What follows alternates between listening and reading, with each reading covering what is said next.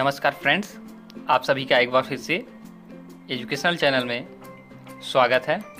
और फ्रेंड्स, आज हम फ़र्स्ट पेपर से रिलेटेड एक इंपॉर्टेंट पॉइंट पे थोड़ा सा चर्चा करेंगे। तो फ्रेंड्स, वो आपका पॉइंट्स है कम्युनिकेशन, यानी कि फ्रेंड्स, संचार। तो फ्रेंड्स, देखिए, कम्युनिकेशन से संबंधित क्वेश्चन फ़र्स्ट पेपर में एवरी एग्ज़ाम में पूछे जाते हैं नेट के। तो फ्रेंड्स चलिए इससे कुछ इम्पोर्टेंट जो कि पॉइंट्स हम लेके आए हैं तो थोड़ा सा उसको हम आपके साथ डिस्क्राइब करेंगे। तो चलिए फ्रेंड्स जानते हैं आज के इम्पोर्टेंट्स पॉइंट्स के बारे में। तो फ्रेंड्स यहाँ पे प्रभावी संप्रेषण के अवरोधक तत्व। के बारे में हम जानेंगे। तो फ्रेंड्स अगर हम कहीं क्वेश्चन पूछता है कि प्रभावी संप्रेषण के अवरोधक तत्व कौन से हैं तो फ्रेंड्स यहाँ पे आता है आपका निर्णायक परख होना। तो फ्रेंड्स ये अवरोधक तत्व है, यानी कि प्रभावी संप्रेषण में ये बैरियर्स का काम कर देता है। क्योंकि फ्रेंड्स अगर हम पहले ही निर्णय ले लेते हैं कि किसी भी चीज़ में कि ये ऐसा ही होगा। तो फ्रेंड्स अगर हम मान के ही चलते हैं तो हमारी सोच डेवलप हो जाती है कि पॉजिटिव अगर सोचते हैं तो पॉजिटिव अगर निगेटिव सोचते हैं तो निगेटिव तो फ्रेंड्स पहले ही निर्णायक परख हो जाना ये गलत होता है। आपको पहले देखना पड़ेगा परिस्थिति को, फिर आपको निर्णय लेना होगा। तो फ्रेंड्स ये निर्णायक परख होना, ये एक बैरियर्स है। तो फ्रेंड्स चलिए नेक्स्ट आपका आता है रक्षात्मक अभिवृत्ति। तो फ्रेंड्स ये रक्षात्मक अभिवृत्ति भी एक अवरोधक तत्व के अंतर्गत आपका आता है फैक्टर्स है ये।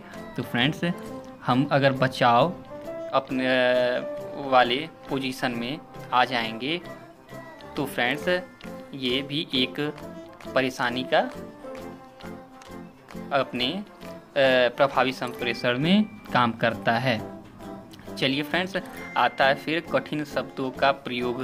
तो फ्रेंड्स आपको पता ही है कि अगर आपका लैंग्वेज आपके जो लर्नर हैं, या हम कम्युनिकेशन जो आपके कम्युनिकेशन में सेंडर से रिसीवर की तरफ़ जो कम्युनिकेशन हो रहा है फ्रेंड्स तो वो अगर ये कठिन शब्दों का यूज़ होगा।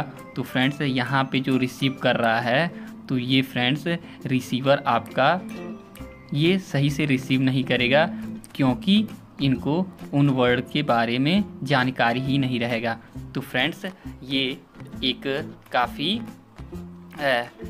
बड़ा अवरोधक तत्व में आता है फ्रेंड्स तो फ्रेंड्स आगे आता है फ्रेंड्स एक नीति प्रवचन। तो फ्रेंड नीति प्रवचन भी आपका एक बैरियर्स का काम करता है, आपको याद रखना होगा। तो फ्रेंड्स फिर आता है एक पक्षीय सोच स्थापित करना। तो फ्रेंड्स एक पक्षीय सोच स्थापित करना, ये एक बैरियर्स में आपका मतलब अवरोधक तत्व, एक गुड कम्युनिकेशन में आता है फ्रेंड्स क्योंकि फ्रेंड्स आप इसमें बायसनेस अगर करने लगेंगे तो फ्रेंड्स आपका कम्युनिकेशन बिल्कुल ही प्रभावित होता है और ये अवरोधक तत्व में आपका आ जाएगा। क्योंकि फ्रेंड्स आपका सोच सार्वभौमिक होना चाहिए, जो कि सभी पे आपका बराबर से थिंकिंग होना चाहिए। ना ही आप एक फैक्टर पे, आप एक बिंदु पे ही बैठे रहें। तो फ्रेंड्स चलिए, ये अवरोधक तत्व तो आपका प्रभावी संप्रेषण के कुछ थे। चलिए फ्रेंड्स नेक्स्ट कुछ पॉइंट है, उस पर चलते हैं फ्रेंड्स तो क्षैती संप्रेषण या समतल संप्रेषण। फ्रेंड्स ये किसको कहते हैं? तो फ्रेंड्स अगर क्वेश्चन पूछता है, क्षैतिज संप्रेषण या समतल संप्रेषण किसे कहते हैं? तो फ्रेंड्स ये संप्रेषण जो होता है, एक ही स्तर के विभिन्न व्यक्तियों के मध्य संप्रेषण होता है। तो फ्रेंड्स अगर क्षैतिज संप्रेषण या समतल संप्रेषण कहे तो फ्रेंड्स यह एक ही स्तर के विभिन्न व्यक्तियों के मध्य संप्रेषण होता है। तो फ्रेंड्स मान लीजिए ऑफ़िस के अगर सीईओ हैं फ्रेंड्स सीईओज हैं तो फ्रेंड्स ये कहीं और के जो सीईओज के बैठक अगर हो रहे हैं तो फ्रेंड्स अगर ये वहाँ पे भाग ग्रुप में भाग ले रहे हैं तो वहाँ पे जो संप्रेषण हो रही है फ्रेंड्स तो वो क्षैतिज संप्रेषण या समतल संप्रेषण में आती है। फ्रेंड्स ये एक उदाहरण है, लेकिन ये अन्य प्रकार पे भी लागू होता है, जहाँ पे एक समान संप्रेषण होता है। फ्रेंड्स समान स्तर की बातें होती हैं, समान इक्वल लेवल के लोग होते हैं तो वहाँ पे ये क्षैतिज संप्रेषण होता है। चलिए फ्रेंड्स नेक्स्ट पे हम चलते हैं। नेक्स्ट पॉइंट है, कक्षा में संप्रेषण करते समय सावधानियाँ। तो फ्रेंड्स ये एक टीचर से संबंधित सावधानियों के बारे में फ्रेंड्स बताया जा रहा है कि कक्षा में संप्रेषण करते समय सावधानियाँ क्या रखनी चाहिए। तो फ्रेंड्स कक्षा में संप्रेषण करते समय आपकी प्रमुख सावधानियाँ यहाँ पे दी गई हैं। तो फ्रेंड्स इसमें पहला आ जाता है वाक स्वरघात परिवर्तन।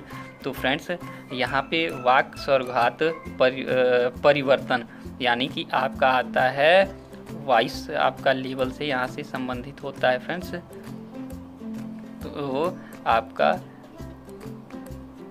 जो स्वर है आपका आवाज़ है वो फ्रेंड्स एक स्तर के होने चाहिए।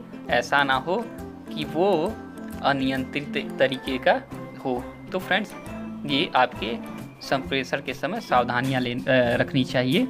फिर आता है फ्रेंड्स, सहयोगी समादेश का प्रयोग। सेकेंड आता है फ्रेंड सहयोगी समादेश का प्रयोग। सेकेंड आपका आता है, अगर ये कहीं देता है फ्रेंड्स तो आपको याद रखना होगा, सॉरी। तो फ्रेंड्स, फिर आता है आपका नज़रें मिलाने। सॉरी हाँ नज़रें मिलाने। तो फ्रेंड्स यहाँ पे एक इंपॉर्टेंट होता है कि टीचर अगर फ्रेंड्स टीचर अगर अपने स्टूडेंट से इंट्रैक्शन सही से नहीं करेगा और फ्रेंड्स अगर वो आँखें मिला के, यानी स्टूडेंट से वो डायरेक्टली तौर पे वो कनेक्ट होता है तो फ्रेंड्स वो काफ़ी इंपॉर्टेंट होता है। तो फ्रेंड्स अगर यहाँ नज़रें मिलाने की बात हो रही है तो फ्रेंड्स अगर इस पर हम ध्यान नहीं देते हैं तो स्टूडेंट एंड टीचर रिलेशनशिप एक बढ़िया नहीं होता है। और अगर एक बढ़िया रिलेशनशिप डेवलप नहीं होता है तो फ्रेंड्स वो आपका कम्युनिकेशन बेटर नहीं होगा। तो फ्रेंड्स यहाँ पे आपको सावधानियाँ रखना चाहिए कि नज़रें मिलाने पे। तो फ्रेंड्स नेक्स्ट आपका आता है संवाद स्थापित करना। तो फ्रेंड्स ये आपको पता ही है कि संवाद स्थापित करना, ये काफ़ी इम्पोर्टेंट है। आपको इसको फ्रेंड्स आपको कक्षा संप्रेषण में सावधानी के अंतर्गत देखना पड़ेगा। कि आप जब संवाद स्थापित कर रहे हैं फ्रेंड्स तो वो आपका बेहतर हो। तो चलिए फ्रेंड्स आते हैं नेक्स्ट पे।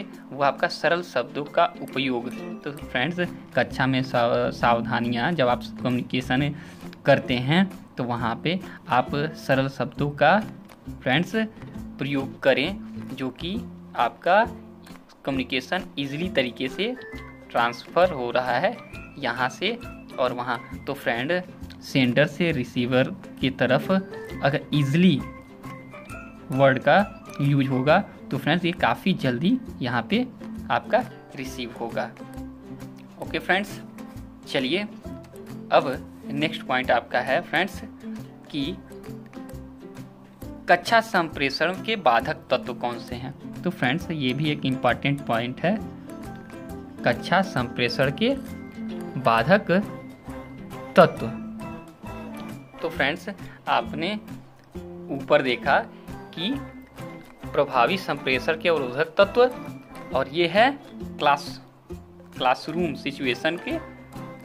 फ्रेंड्स बाधक तत्व कौन है? तो फ्रेंड्स ऊपर और नीचे से आपको डिफरेंस यहाँ पे मिलेगा और आपको याद रखना है, ऐसा ना हो कि ऊपर का जो पॉइंट था, नीचे के पॉइंट में आप प्रभावित हो जाएँ। तो फ्रेंड्स ये अलग है। वो फ्रेंड था फ्रेंड्स प्रभावी संप्रेषण के अवरोधक तत्व। एक फ्रेंड्स इफ़ेक्टिव कम्युनिकेशन के वो अवरोधक तत्व के बारे में बात कर रहा था। और ये फ्रेंड्स आता है आपके क्लासरूम से संबंधित संप्रेषण के जो तत्व इफ़ेक्ट कर रहे हैं उनके बारे में। तो फ्रेंड्स चलिए पहले पे चलते हैं। ये है रुचि का अभाव। तो फ्रेंड्स ये बहुत ही बड़ा ये तत्व है कि फ्रेंड्स अगर रुचि का अभाव स्टूडेंट में होगा तो फ्रेंड्स ये आपका कम्युनिकेशन सही से नहीं होगा और ये इफ़ेक्ट होगा। चलिए फ्रेंड्स आता है फिर उत्साह की कमी।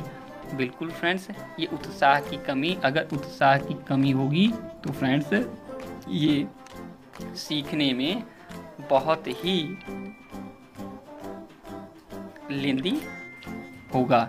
तो फ्रेंड्स अगर ये उत्साह की कमी है तो सीखने में बहुत ही मुश्किल होगी और हमारा संप्रेषण सही दिशा में नहीं जाएगा। चलिए फ्रेंड नेक्स्ट है प्रबल संप्रेषण विधि का अभाव। तो फ्रेंड्स, प्रबल संप्रेषण विधि, जो हम संप्रेषण विधि का यूज़ कर रहे हैं। फ्रेंड्स, अगर उसका अभाव होता है तो भी हमारा बाधक का काम करता है कक्षा संप्रेषण में। अगर वो सही विधि का प्रयोग न किया जाए तो। चलिए फ्रेंड, नेक्स्ट आपका है संप्रेषण सामग्री की कमी। हाँ फ्रेंड्स, बिल्कुल यहाँ पे करेक्ट है कि संप्रेषण सामग्री की अगर कमी होती है तो फ्रेंड्स ये आपका एक बाधक तत्व में आएगा। तो फ्रेंड्स नेक्स्ट है संप्रेषण माध्यम की कमी। हाँ फ्रेंड्स संप्रेषण माध्यम की भी कमी के कारण और होता है, जब हम यहाँ से यहाँ अपने कम्युनिकेशन यानी कि को चलाते हैं। तो फ्रेंड्स अगर हमारे पास कोई माध्यम नहीं होता है। अच्छा तो यहाँ आपका पहुँचने में दिक्कत होती है और वो आपके लिए बेहतर नहीं होता है। चलिए फ्रेंड्स नेक्स्ट आपका आता है वातावरण संबंधित कमियाँ। तो फ्रेंड्स बिल्कुल वातावरण संबंधी कमियाँ भी आपको बहुत बड़ा इफ़ेक्ट निभाती हैं। एक गुड क्लासरूम कम्युनिकेशन में बाधक आपका होता है। तो फ्रेंड्स इसमें आपके बहुत सारे फैक्टर्स आ जाते हैं, वातावरण संबंधी फ्रेंड्स अगर देखें तो वहाँ पे अगर क्लासरूम की लाइट्स से बातें आपकी आती हैं क्लासरूम के ये जो आपके जंगले हैं विंडोज़ यानी कि उसमें अगर सही नहीं है, वहाँ भी प्रॉब्लम आती है। वहाँ साउंड का अगर सही आपका सिस्टम नहीं है तो वहाँ पे भी ये आपको इफ़ेक्ट करती हैं। तो फ्रेंड्स और सारी भी चीज़ें हैं जो आपके क्लासरूम के इन्वायरमेंट को अगर सही से लेके नहीं चलते हैं तो फ्रेंड्स यहाँ पे वो आपके संप्रेषण में एक बाधक तत्व के रूप में उभर के सामने आती हैं। ओके फ्रेंड्स चलिए ये थोड़ा सा कम्युनिकेशन से संबंधित आप लोगों के लिए हम वीडियो बनाए थे फ्रेंड्स चलिए इससे संबंधित नेक्स्ट वीडियो बहुत जल्दी हम आपके लिए लेके आएँगे फ्रेंड्स तब तक के लिए थैंक फॉर वॉचिंग और फ्रेंड्स कृपया फीडबैक ज़रूर दें, जिससे कि पता चले कि इसमें अगर हम कहीं पे भी ईरर आ गया हो तो हम आपको उसको दूर करने की कोशिश करें। Thanks fam